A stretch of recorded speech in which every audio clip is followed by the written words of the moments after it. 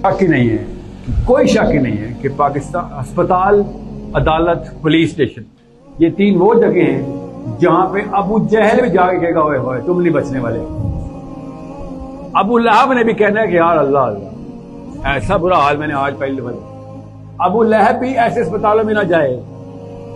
ठीक है, क्योंकि उससे बदसलूकी जिस लेवल बनी, उसने कभी नहीं सोची हुई अदालतें, पुलिस और अस्पताल और ये वो तीन जगह जो कि दीन चलाता होता है।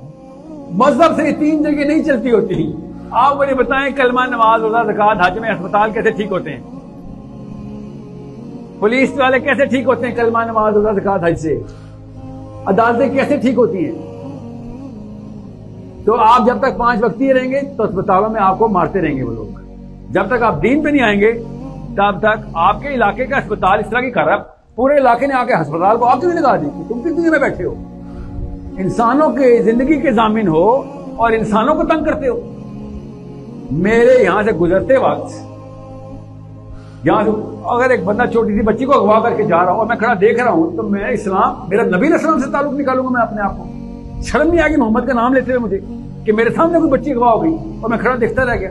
और यहाँ पे हम क्या कह रहे हैं? उससे भी आगे वीडियो, कल मेरी लाइक्स बनेंगी समझ रहे? तो ये दीन जब तक नहीं आएगा, ना अदालतें ठीक होने वाली हैं, ना अस्पताल, ना पुलिस वाले। ये सिर्फ़ दीनी अमूर हैं जो कि मामले और ये तीनों दीनी अमूर ही चला रहे हैं। आप दीन इस्लाम पे आएँगे तो आप देखेंगे, आपने जो स्टैंडर्ड रखा ना, बड़ा लो है आपको मैं बता दूँ ना कि इस्लाम के स्टैंडर्ड पे सर्विस कैसे देते हैं एम्पति कहते हैं किसे? रहम जो है, रहम का माता। जाने देते हैं लोग, अपनी जाने आगे देते हैं। मैं आपको सुनाऊं कुछ वाकयात? अल्लाह की कसम, यहाँ पे लगेगा शाम गरीबा चल रही है। मैं अगर आपको साहबा के वाकया सुनाऊं, किस तरीके से लोगों को अपने जिसम किससे काट काट के दिए लोगों ने? जाने दिए कि इसको ना मरने देना, ये स्ट्रेंजर आदमी आया है, बेचारा फंसा हुआ है, किससे गलती से बंदा मार गया? अबू दर गफारी कहते, उमर बिन खताब ने कहा गारंटी देगा तू इसकी? बंदे से कत्ल हो गया था, कहता, इसने मुझे पत्थर मारे, मैंने वापस इसको पत्थर मारा तो ये मर गया।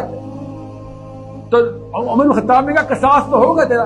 उस लड़के के दो बेटे आए हुए तेरे पास। बाप का कत्ल हुआ तेरा। एक्सीडेंटल डेथ स्टिल डेथ तुझे कसास तो देना पड़ेगा। तो कहता है मेरे बीवी बच्चे में मुसाफिर हूँ, मैं छोड़ के आया हूँ। मुझे खाली दो दिन दे दे, मैं उनको जाके बताऊँ कि मरने लगा उनको पता होना चाहिए, बाप मर गया उनको। कैसे जाने देते? फिर अबू जर गफाई ने क्या कहा? बैठे हुए थे। अब खताब ने कहा, यार, मैं तुझे कैसे जाने दूँ गारंटी है। कहता, मैं कैसे गारंटी दू? मैं तो किसी को जानते नहीं उधर अब उधर वफाई कहते, मैं देता हूँ उसकी गारंटी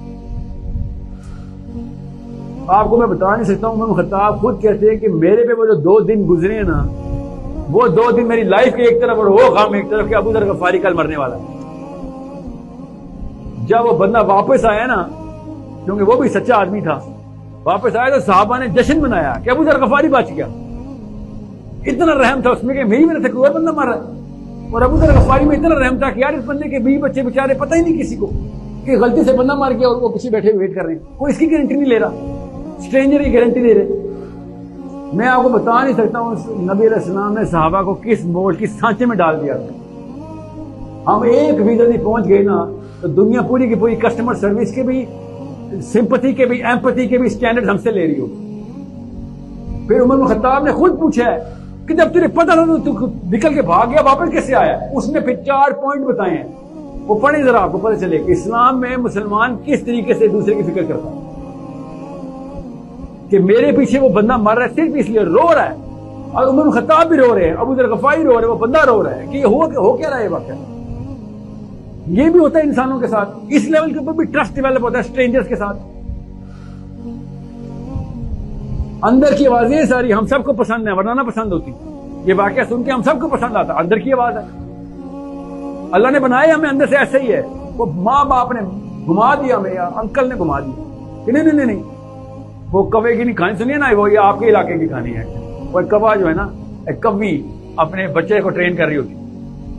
कहते बेटा, जब इंसान ना पत्थर उठाए ना तो जैसे पत्थर उठाए, उड़ जाएँगे, भाग जाएँगे।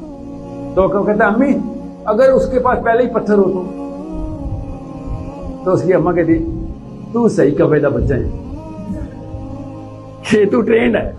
हमारे साथ भी वही हो रहा है। हर चीज़ को आप खुद बताएँ। आप मुझे दस हज़ार रुपए दे। ठीक है? और मैं कहूँ, मैं हफ़्ते बाद वापस करता हूँ। कैसे हफ़्ता गुजरेगा पता नहीं, बातें तो यूट्यूब शूट्यूब पे वीडियो करता है। हफ़्ते में बंदा कैसा है? ट्रस्ट डेवलप ही नहीं हो सकता ना। हमारे पूरे के पूरे कल्चर में सिनिसिज्म कहते हैं। इसको सिनिक बना दिया गया। साइकोलॉजी करप्ट है हमारी।